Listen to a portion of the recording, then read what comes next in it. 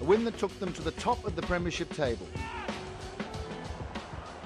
Everton looking the more complete of the two sides. It's they who have the Premiership points, remember. Middlesbrough still struggling without a goal or a point as Kevin Campbell breaks free in the box, looking for some space. Nice ball in, Ferguson's up there! Just wide of the post, Duncan Ferguson.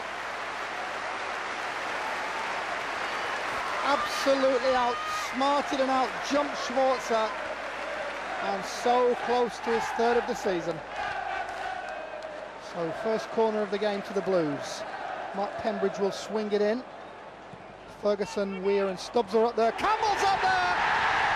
And Captain Campbell opens his account for the season. The Middlesbrough defence seem more occupied with uh, Ferguson, Weir and Stubbs. But super Kevin Campbell with his first of the season for Everton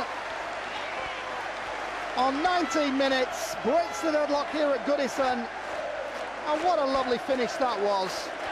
Again, Schwarzer wasn't comfortable in the air, and Campbell got in between him and Fleming. Southgate was all over the place as well. And that is a quality finish from a quality player. David Unsworth has got uh, Ferguson again looking for the flick into Campbell. Alexandersson! Good save by Schwarzer. Chance not over yet. Alexandersson again.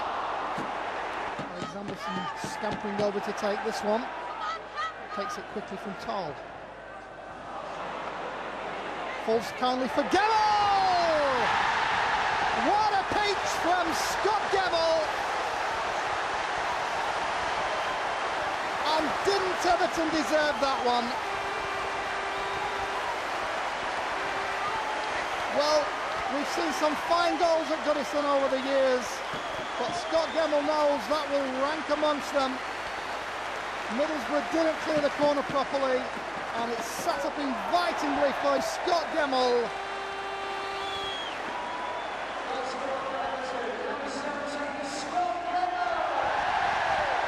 And some breathing space now for the Blues.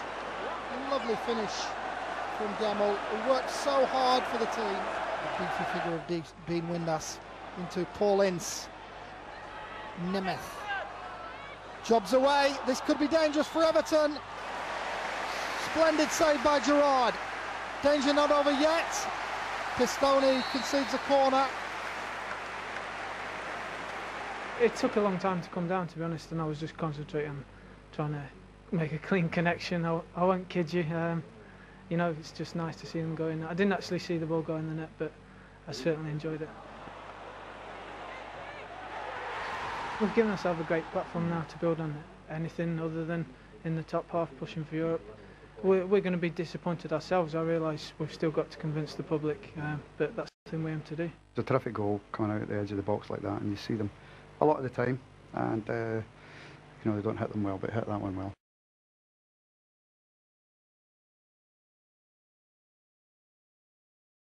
Fixture weekend, Everton travelled to strugglers Ipswich and fought out a goalless draw that demonstrated the resilience of a defence that had only conceded one goal in three matches.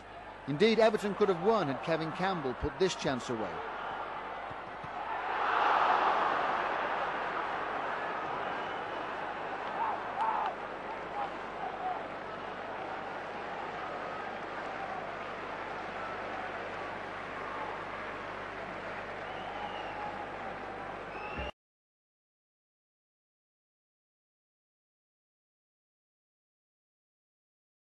But Everton had rediscovered winning form at Goodison Park and weren't about to surrender it that easily.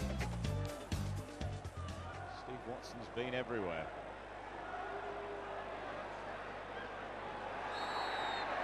Really? And that was Gravesen's quickly taken free kick, but Campbell couldn't organise it. Alexandersson's cross, Naysmith, and Watson! And Steve Watson has scored! Against his old side. Well, he began the move. Gravesen's pass. Campbell couldn't get his footing. Alexandersson to Naysmith and brave header from Steve Watson. A defender who can score goals. As we all know, Everton have the lead. Just seems they play with much more confidence with that goal behind them. Gravesen putting pressure on the defence with a terrible mistake. This is Naysmith. And Radzinski! Villa totally gifting it. And Radzinski is delighted, but Naysmith's the man who did the work. Gravesen first put pressure on the defence. Naysmith taking the ball down the left, picking out Radzinski.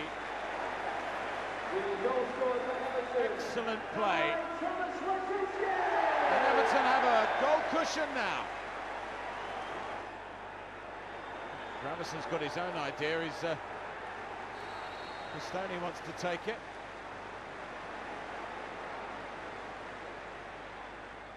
But Gravesen squeezed it through! Two in three minutes for Everton. And Danish class this time. As one Great Dane beats another. The wall broke up miserably. Gravesen's shot was true. Everton have a 3-0 lead. Gemmill set him up and he didn't disappoint.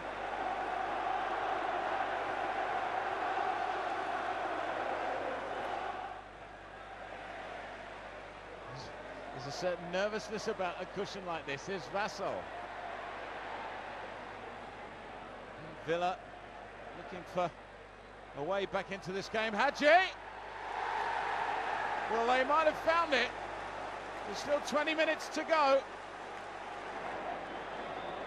And even Schmeichel, I can tell you, has made the journey up for this. There's nobody back for Villa. It might come to Schmeichel! Well, a second moment of Danish class. Peter Schmeichel has volleyed a marvellous goal. Storm's corner, and look at this volley from Schmeichel.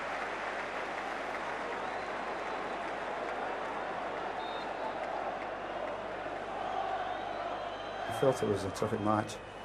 You know, uh, uh, Aston Villa started the game extremely well for 15 minutes or so. We had the best of the next 15 minutes, managed to get a goal in that period, and um, bit scrappy before half time. Second half, we started extremely well for 20 minutes, played as well as we have done um, this season, and uh, managed to get ourselves three up. I was expecting Villa to be resilient enough, and they came back